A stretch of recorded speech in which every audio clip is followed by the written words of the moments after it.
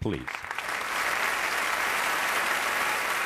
Ernest Borgnine was born nine decades ago in Connecticut. As a young man, he spent 10 years in the Navy.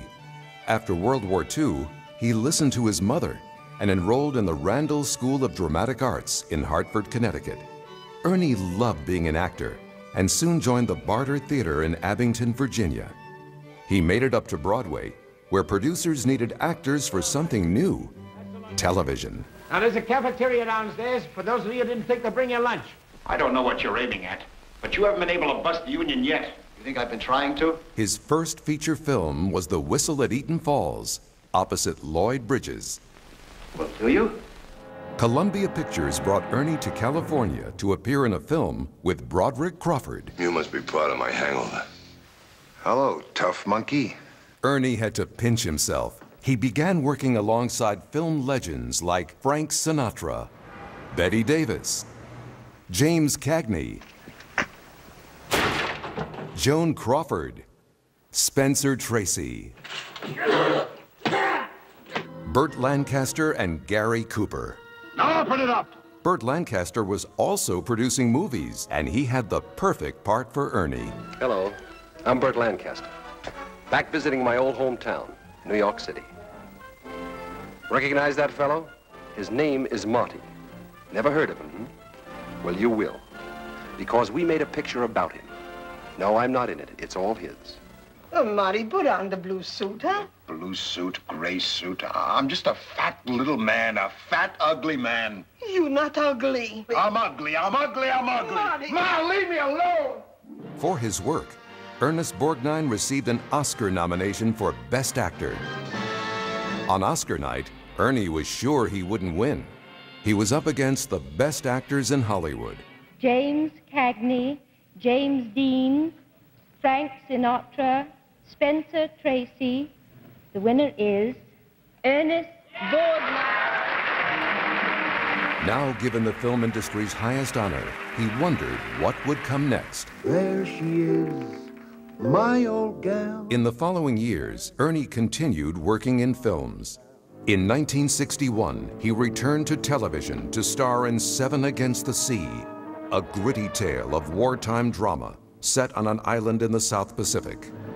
You stick your head out any further, that machine gun will be delighted to blow it off. This serious film missed the boat with viewers, but the producers got to thinking. Relaunched as a comedy series and recast with Tim Conway and Joe Flynn, McHale's Navy now had audiences howling. And the whole thing is your idea. Oh, y- yes, sir. It was all his idea. We call it McHale's Paradox. At first, the real U.S. Navy saw nothing funny in the adventures of Quentin McHale and his rowdy crew. But when young men across America suddenly began enlisting, the Pentagon brought Ernie to Washington to thank him for being the greatest recruiter the Navy ever had. In fact, Ernie has a long history of helping his country. You've got a friend if you've got United States savings bonds. I found that out when I left the service after 10 years and wanted to be an actor. Throughout his career, he's always taken the time to honor those who serve in the armed forces, and they've appreciated it. He's also personally visited every veterans hospital in America.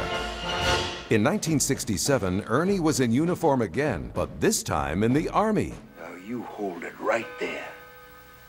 This war was not started for your private gratification, and you can be damn sure that this army isn't being run for your personal convenience either. He had a starring role in what has been called the greatest Western ever made. I'd like to say a few words for the dear dead departed. And maybe a few hymns would be in order, followed by a church supper with a choir. My God. And we all remember Ernie as a hapless passenger on the maiden voyage of the Poseidon Adventure. Ernie's vast range of acting talents got him many memorable parts in scores of successful Hollywood film and television shows. Off camera, Ernie's been the voice of a number of animated characters. You're in the wrong seat. Move it. Ah. Even at age 94, Ernie's still busy. Frank Moses file. Frank Moses was one of the most effective black op agents we've ever had. He retired drug lords, terrorists. Hell, he toppled governments. Eh, They don't make them like that anymore. And they don't make them like Ernest Borgnine, a true living legend.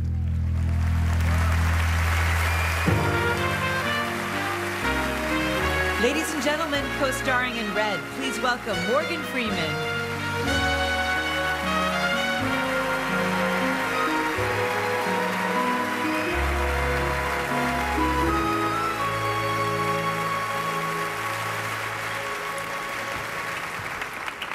Can't see the teleprompter with all of you standing up. now, as you know, Ernie is a practicing Italian, and his people have a way with words. In fact, there's an Italian expression that captures the essence of this celebration. La vita è quello che tu ne fai.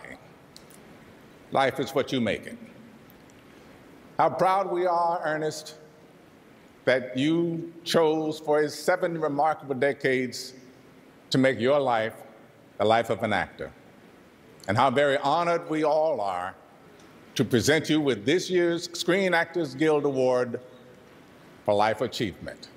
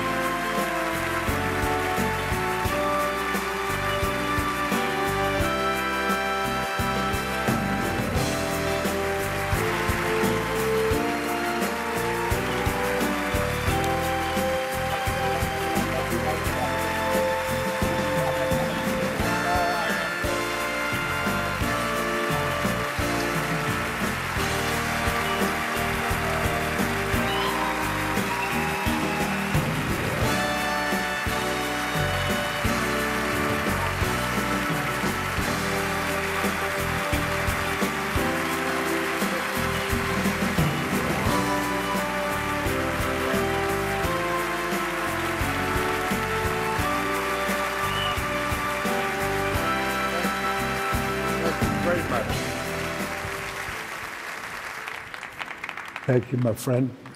My great pleasure. And thank you, Tim. Yes, it all started with a question.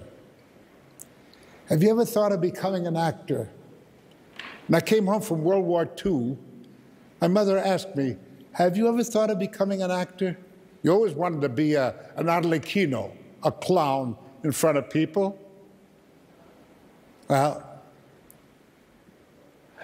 I went ahead and became an actor.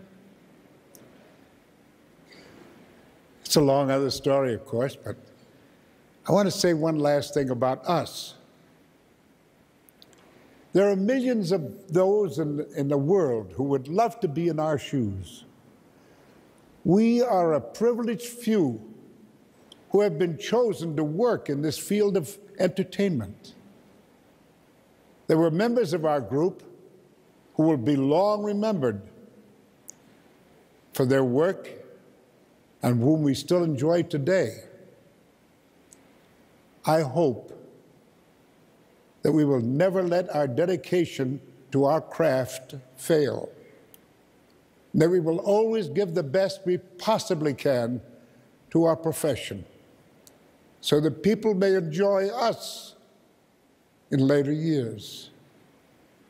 On behalf of my family, my wife Tova, our love, our thanks, and our best wishes for your high success always. Thank you so very much for this great honor. Thank you.